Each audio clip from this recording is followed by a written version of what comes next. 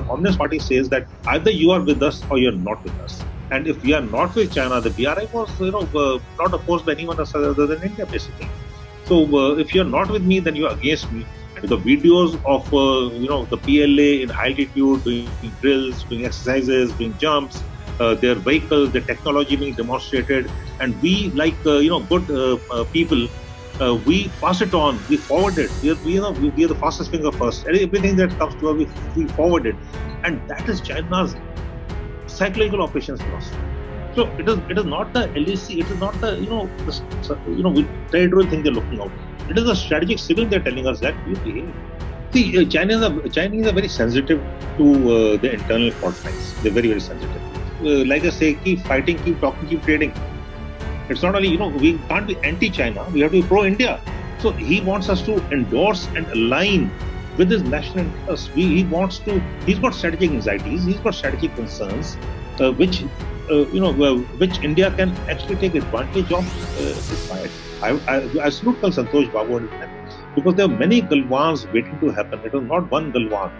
There's spikes and the uh, you know clubs which had issued uh, to the troops, in the PLA troops in Galwan. He would have issued many of the subunits and units. It's not only in one particular place. 1959 line is a, a construct of the Chinese. It is not our. We, we never recognize that. It's a Chinese construct. How we endorsing it? I don't know.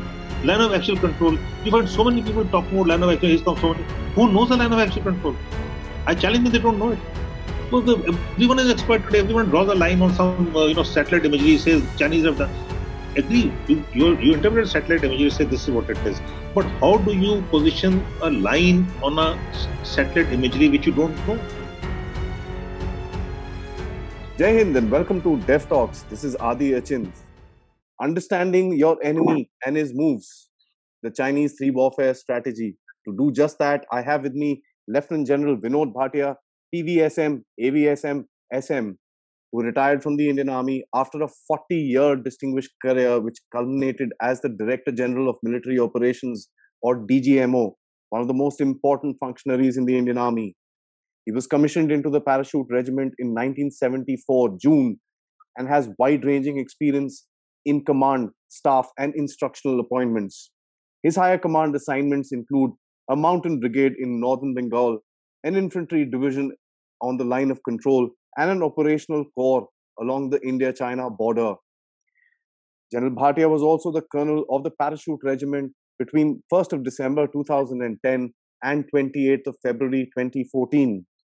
During his career, his advisory skills in the strategic arena have played an inseparable part in designing the policies of the Indian Army today. He was instrumental in giving a lot of force to the capacity and capability development along both the LOC as well as LAC. Thank you, sir, for joining me today to have a discussion on this very, very important subject on the Chinese three warfare strategy.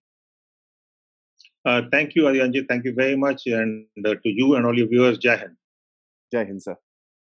So I'd like to begin by saying China, post the Ladakh standoff and especially the Galwan incident, of which we had the first anniversary just a couple of days away, has come into the realm of discussions in pretty much on a daily basis amongst strategic analysts and also the general public.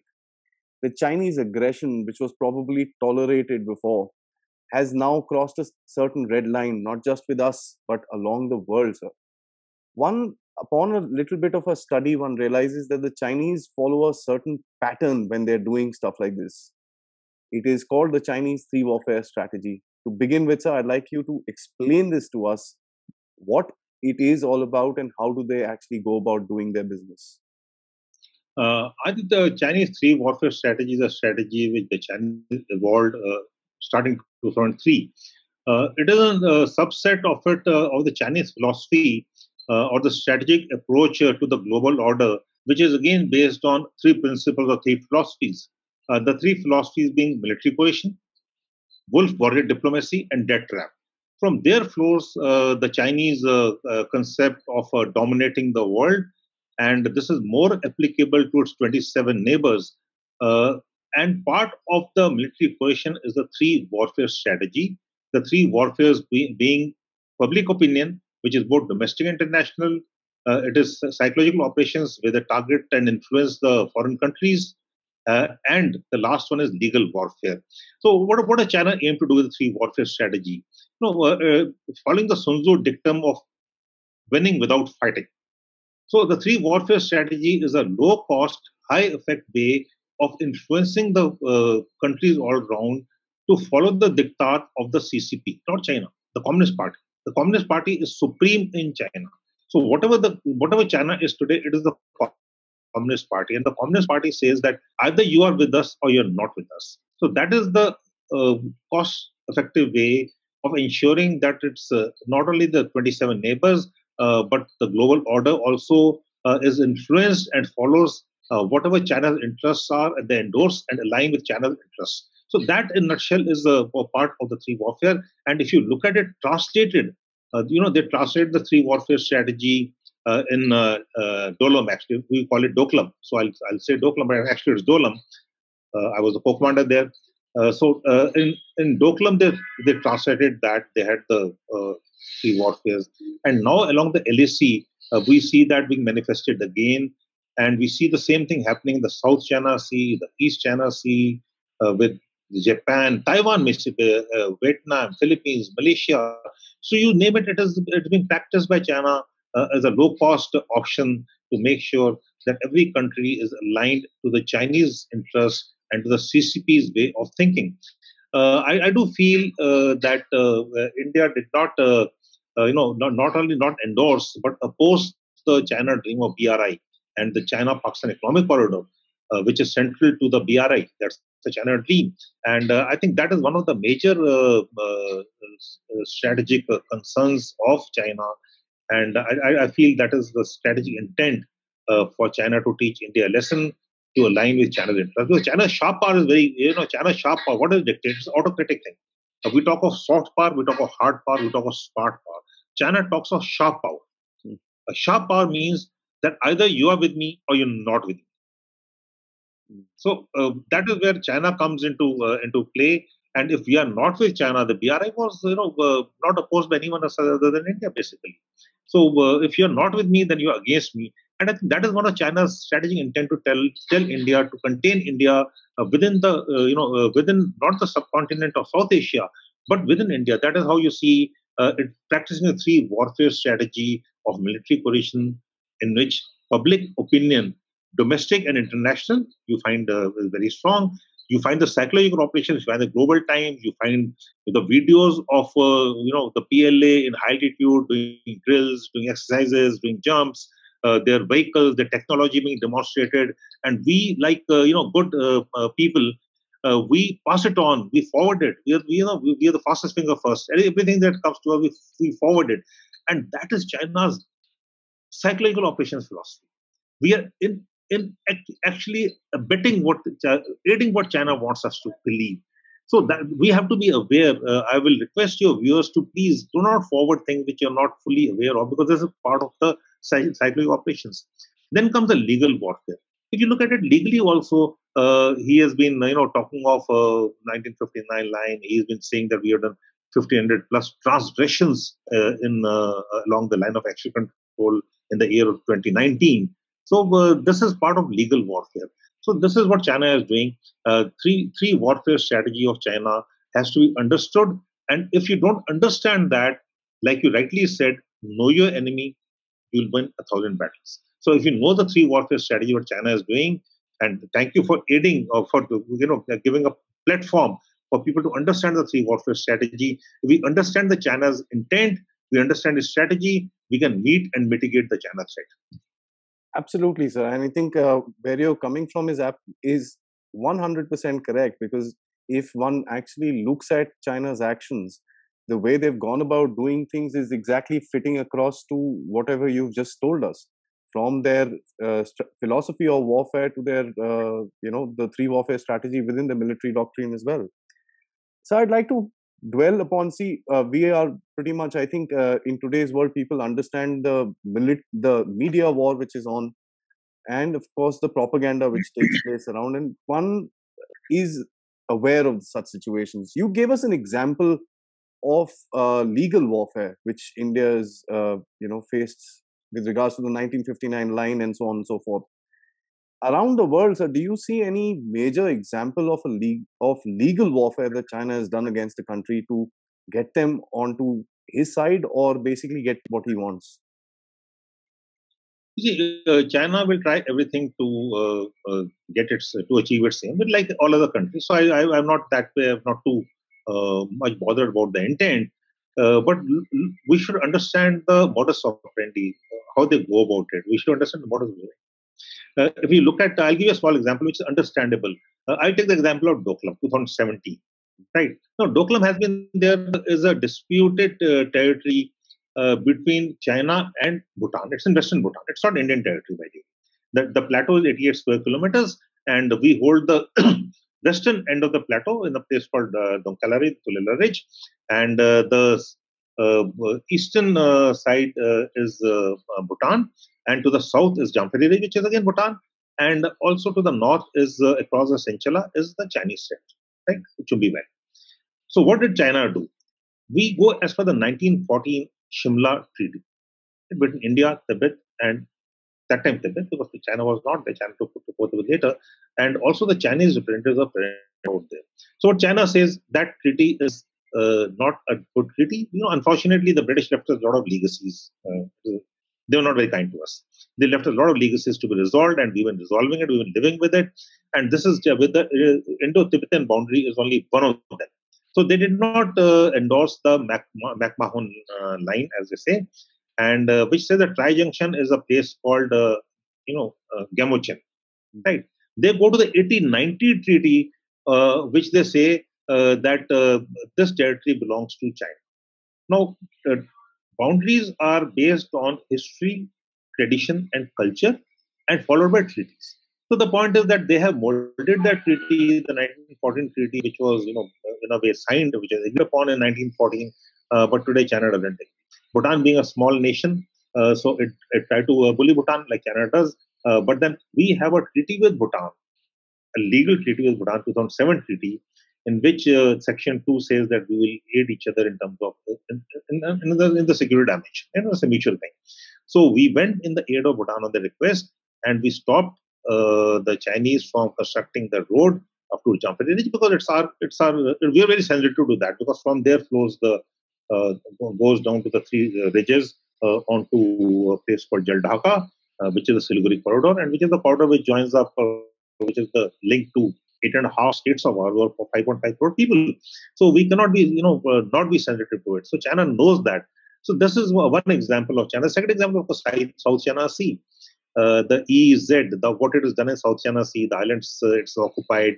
it is with disregard to the uh, Uh, you know, the International Court of Justice uh, gave the favor in terms of Philippines, uh, but China has not agreed to it. China says the UNCLOS, the United Nations uh, Lines of Communication, uh, the clause UNCLOS treaty, is 1982. But their, you know, it, their history in the South China Sea predates that treaty, so they go they go by the history. So they, they don't give it. It doesn't concern where it doesn't suit them uh, they say no, this is not legally bound because this, this, legal position is something different. So that is part of legal warfare which China has been doing, and uh, China doesn't you know really bother about the international norms the way uh, most other countries want. And the democracies are different, uh, the autocracies are different, and uh, China has the is developing the uh, technological, economic, and military might to do what it wants to do. So we'll have to understand what China's intents are and legal warfare is, and we'll have to defeat China uh, again in all three domains psychological operations, public uh, opinion, and also legal warfare. If if wage a legal war, we'll wage a legal war. We're not just trying to escalate something. But when we are, we just said Belém is with us, the moral right with us, the justice is with us, and the world knows that. So that is our strength. So we will play to our strength. Correct, sir. And I think uh, you know the reason why I asked this legal war uh, question, apart from the the the, the influence operations that the Chinese do is because this is probably the one of the most difficult things for anybody to understand that how do they use laws uh, this thing and you said it very rightly that they use the law when it suits them otherwise they will switch back to history and you know bring about a whole story and they've been doing it very successfully till now i must say so uh, a small one more small yes, please uh, uh, of, of Doklam. you know the tri junction between india China and Bhutan. Is a place called Batangla, right? And to the south of Batangla is a very high uh, mountain peak called uh, Gemuchin. Mm. Uh, what the Chinese say Pomochi. So they say Gemuchin means tri-junction. Gemuchin does not mean tri-junction. It means, uh, uh, you know, uh, the, the, the queen of hills, right? So that is how legal warfare starts when you start misinterpreting uh, the meaning of a particular feature. So we say the tri-junction between India, China, Bhutan is Batangla, and they say it is not Batangla, it is Gemuchin. If Gemuchin is a tri-junction, then obviously uh, the Doklam Plateau falls within China. But if Batangla is a tri-junction, the Doklam Plateau belongs to Bhutan. So that is uh, how they go about it. Very interesting, sir. I think uh, multiple examples. I think one thing that came to my mind was TikTok in USA, sir when Trump tried to ban TikTok, they went into the Supreme Court and they they upturned that decision. That was a part of a you know I'd call it a legal warfare that they played their own system within against them, and it's it's very interesting. So you also mentioned that this is a you know these three warfare strategies also not a very expensive uh, way of fighting a war. Wars today have become very expensive having said that, this also is a very, very effective way of fighting a war if somebody doesn't understand what the adversary is doing. Is this one of the reasons that the Chinese are taking risks on multiple fronts that we see today? Uh, Ch- Chinese feel that uh, you know they are the century of humiliation, and now they are a world power. And China, China, you know, if you speak to the Chinese, and we should understand what the Chinese say. I'm not, and no, what don't no, we don't understand what they actually mean and what they say. Uh, because if we do not do that, you know, again, know your enemy, know yourself. So, uh, what actually China feels is that uh, they can get away with it, and uh, they have the uh, uh, superiority, they have the power, and they have an advantage in being an autocratic country. it is run by Xi Jinping. If you look at Xi Jinping, he took over as the supreme leader on 14th of March 2013. So what did he do? The first thing he did within 24 hours, he signed the Gwadar contract for 40 years. Okay. So we have to look at these. These these are indicators of a of a he's a very, he's a very strong leader. Let, us not you know deny that fact. He's a strong leader. He he wants to ape Mao Zedong, who, was one of the strongest. So he he did that. Then within a month, on 14th of April 2013, the PLA comes and occupies a place called Bottleneck or Rakhi Nala in Depsang. Okay, they went back out 22 days. It's not that they didn't go back. Uh, it took some doing for them to for, for, for them to go back. But then we had uh, leverages that time, we had pressure points that time, and they, they, they did go back. But it was a part of a signaling which they did. Then 2014, when you were visiting uh, India for the first time, they come in Chumar. So it is it is not the LAC, it is not the you know the you know territorial thing they're looking out. It is a strategic signal they're telling us that you behave, you do things. So um, so that is we'll have, we'll have to look at China the way do things, a very cost-effective way of doing things, like you rightly said. Uh, very low cost but high effect. Look, for the last one year, amount of resources and energy when we are battling the COVID, when the world is battling the COVID, what has China done? It has taken away the attention from COVID to the LAC. Okay. Today, Indians, Indians are, you know, they, we, we don't blame China for COVID at all. Mm. Whether it is by design or by default, the judiciary is the, the, still out. Right.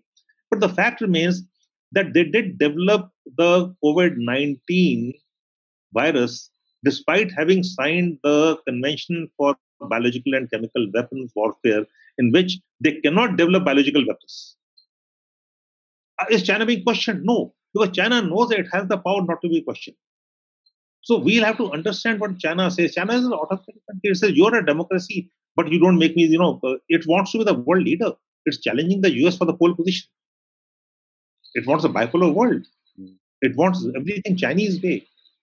And uh, we will have to, you know, uh, we'll have to understand them and then thereafter talk to them from a position of relative strength. I'm not saying that, you know, there's a uh, CNP differential. I cannot say that I'll be as strong as them, but I have to speak to them, talk to them from a position of relative strength, which is morally right. We today we are a risen power, we're a responsible risen nation. Uh, we are a global leader. We are a part partner node, right? We have so many leverages. We have linkages with the world. Our soft power is recognized all over. You know, we have earned the respect of the uh, of the world, of the, the people. So we'll have to we'll have to. How do we deter channel aggressiveness? is the answer, is the is the question, and we'll have to answers for that. Very very interesting, sir. I think uh, uh, if if thought processes like this are discussed more freely and more often in India, I think we would be able to find a solution. So, uh, one begs the question: Is the Ch- the Chinese are waging this kind of a war against pretty much anybody that they call an adversary, leave alone an enemy itself, or even a competitor for that matter. My question to you is: Are they ready to be, you know, uh, retaliated in kind within themselves? Uh, yes, I think uh, when uh, you know, uh, let's not undermine what China is doing. if they are doing whatever they are doing, and you know, the the world's five flashpoints for conflict have all got a China connect. I, am talking of major flashpoint, not talking of in the in the low intensity conflict domain, right? whether it is the Taiwan, South China Sea, East China Sea, Korea, and the Indian Peninsula uh, and the India-China uh, boundary. They all got a China connect. So is China prepared? I think it is, it is prepared. It, it is prepared for that. It is prepared for escalation, but it I think well understands and appreciates that it is uh, escalation not in the interest of the US. US is the only one who can challenge uh, China, right? We can have uh, uh, multilateral arrangements like Quad, but the US is the only one who can actually challenge China.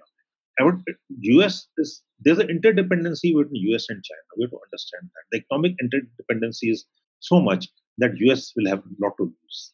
China will have a lot to lose. So whether they both are prepared to lose, I don't know. So the point is what China does in a three warfare strategy, the others will have to do bind to balance to contain China. So China is prepared for that. China is prepared for retaliation. China, I'm sure, would be even, uh, uh, you know, they, they, uh, if you look at the modernization of the PLA, what PLA has done, you know, they, they followed uh, the US model, the, the theater commands, uh, which we are also now doing uh, a little late, but then we are doing it right now. what China has done is that with that, they are prepared, and especially with the strategic, you know, assets, they're prepared to for retaliation and they're prepared to meet the retaliation and they're demonstrating their powers in all domains, especially in the cyber domain, in the space domain. Uh, they are really demonstrating their powers, and in the maritime domain. But is uh, you know one thing that uh, begs the question: the kind of propaganda warfare that they do across other nations. It is very difficult for any other nation to do something like that within China because of the closed society. Uh, but although having said that, one actually one when he when one does some research within China about Weibo trends and stuff like that, there are various uh, online platforms that you can study where people talk about different things. For example, the one thing that uh, got ridiculed quite a bit within China was the three-child policy. They actually had a uh, ad for a condom which uh, had an underline saying, "I'm leaving. You guys have fun." So there is an underlying sentiment which the world needs to realize where some kind of action can be taken. Uh, which brings me back. I mean, which we haven't seen a concerted effort from the world to counter China and its narrative within China and within the population of China. Because I personally feel that the only people that the Chinese are scared of is their own population at the end of it. So, do you see anything moving in that direction, sir? See, uh, Chinese are, Chinese are very sensitive to uh, the internal fault lines. They're very, very sensitive. And uh, the fact that uh, people have not exploited this is the, the nations have not exploited. People can't exploit it. Nations have not exploited it because China is a closed society. Uh, we it, it is uh, you know uh, one odd time you infiltrate into the Chinese media, but the Chinese media is controlled. The social media is controlled. Mm. The access to social media is controlled. So it's a, it's a very it's a, a, sort of a different society. If you go to China, you'll understand what it implies actually. Uh, so you'll see everything uh, on the front. You know, uh, what is visible to you is very good, but what is not visible to you is not so good. They they they got they, they you know Tibet is uh, an issue, uh, East Turkmenistan is an issue, Taiwan is an issue. Uh, their internal fault line, ninety five percent of the population uh, is uh, you know is in the East Coast and beyond. of course, I'm not talking of you know East Turkmenistan too much, but no one no, no one is ready to talk about it. Hmm. So there, there are sensitivities which the world uh, has, which China is sensitive. I remember in 2008, and I, you know, this is uh, uh, uh Ambassador Nirupama Rao was the uh, ambassador in China, And uh, when the uh, Olympics was to be held in Beijing, and the torch was being, you know, uh, torch was uh, the Olympic torch was being taken in Delhi. She was called at two o'clock in the morning and told the Olympic torch will be in Delhi, but make sure the Tibetans don't do anything wrong. Okay, so they're so sensitive to uh, to this, and this is this I heard from a, from the horse's mouth. Okay, so that is the sensitivity of China. The point is that can we exploit these strategic sensitivities? And if we want to explore the strategic sensitivity, of course, the China is crossing the red red lines, and uh, I think they will, at some point of time, uh, some some some of us will have to you know uh, start uh, and platform is a good platform to tell the Indian public what exactly is China trying to do, so that we willy-nilly don't, you know, uh, start believing in China, start propagating what China does. So these are things we'll have to, uh, you know, we, we, need more people like you to propagate uh, what is correct for us and what is not so good in China. I think I agree with you, sir, because there is a lot that needs to be done with regards to uh, just a narrative war they recently did this to us again. Once it was done during the COVID uh, peak, where they were uh, showing a Chinese rocket going up and Indian graves burning on the other side. And uh, recently, again with the G7, they put us across in the ed- edge of the table, which is the you know the dining table of the apostles, and uh, where the elephant had a drip. Apart from that, there's another photograph which I will show here, uh, the Indian person is shown as the good old Darban with again a drip. So they still consider us as, as pretty much a sick country. And I think there is, it's high time that we also put out our own narrative. I completely agree with you. So, ha- taking on uh, and moving further with the discussion in India, how do you think we are preparing for something like this against China? Because uh, the only way to beat something like this is to play the game. If we keep ignoring it, well, to a large extent is going to hurt us in the long run. Yeah, I agree with you. China, China respects strength, and uh, we'll have to demonstrate strength. And demonstration of strength is, you know, LAC is only one part of it. We'll have to demonstrate strength in all domains, uh, especially our maritime domain, our cyber domain, and I'm talking about cyber defense, uh, our, our, space uh, programs. Uh, we'll have to keep, uh, like I say, keep fighting, keep talking, keep trading. It's not only, you know, we can't be anti-China. We have to be pro-India uh, you know the trade has increased but that does not mean that you know we are uh, we we have forgotten Galwan. No, sorry, sir, we are not forgotten Galwan. Galwan is uh, the angst and anguish in every Indian is this. Uh, the young generation was you know uh, they were getting over the 1962 and when Galwan happened, and they will carry this, this 600 million uh, youth of India will carry Galwan for a long time to come. So Ch- China has not understood what it is doing. Well, the, the, the, you know the communist psyche is such that they don't understand uh, what uh, the you know uh, what a country like India and Indians are. Our pride has been hurt in uh, Galwan. So we'll have to now repay uh, uh, China uh, by defending us in multiple domains and taking them on where, where required. It's not that we can't. We're a big country. We're a, we're a, we're a large country. Our, our population is with us. Our people are with us. The, we have a nationalist feeling. we, we are a growing path. We, our economy also growing. We'll take time. We'll take another 15, 20 years uh, but it is also, you know, that, uh, uh, there that we'll have to make sure that China does not retard our growth. Mm. So uh, if we have to grow and match, we not have to match China. We have to look at the well-being of our own people. How do we do that? Is the question, and that we'll have to do by facing up to China. Because if you don't face up to a bully, you'll keep getting bullied. Yep. So we'll have to face up to China in a very measured manner, in a balanced manner, protecting our national interests, protecting what we want to do, as also projecting our national interests. We'll have to project our national interests. And for that, whatever is required, I think the government is uh, uh, very clear on this. Uh, we have done very well in the last year and a half uh, or year plus now. And uh, I, I, think we are building capabilities. Things are changing. Uh, so even you know the major changes, major transformation. I was part of the Shekatkar committee, which you know for the transformation of the of the combat effectiveness. And one of the recommendations which has been accepted and which is in the news today uh, is the corporatization of the ordnance factory board. Uh, so the, the, these are these are major changes. These are transformational changes.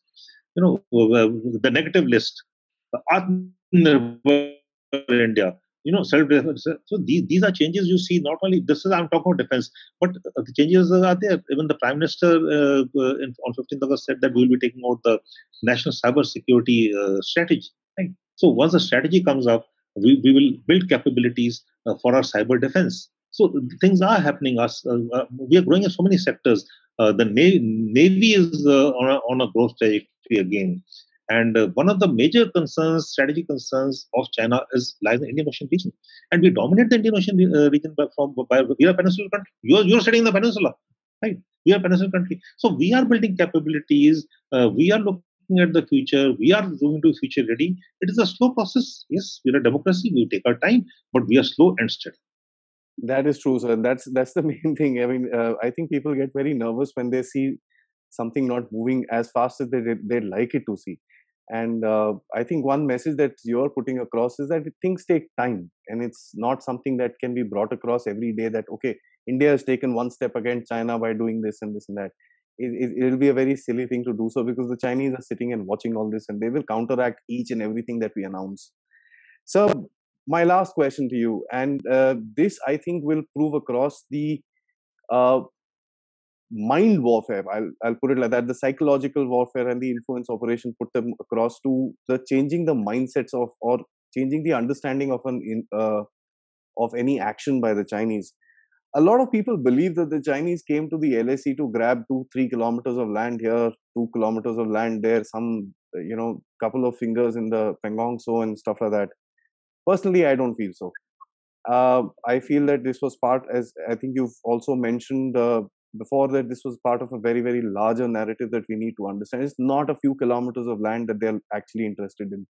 Um, it is something that they want to do my question to you is uh, see they've been able to put this point across within india very very clearly. 1959 line you know you give us that 1959 1960 line we'll we'll be fine.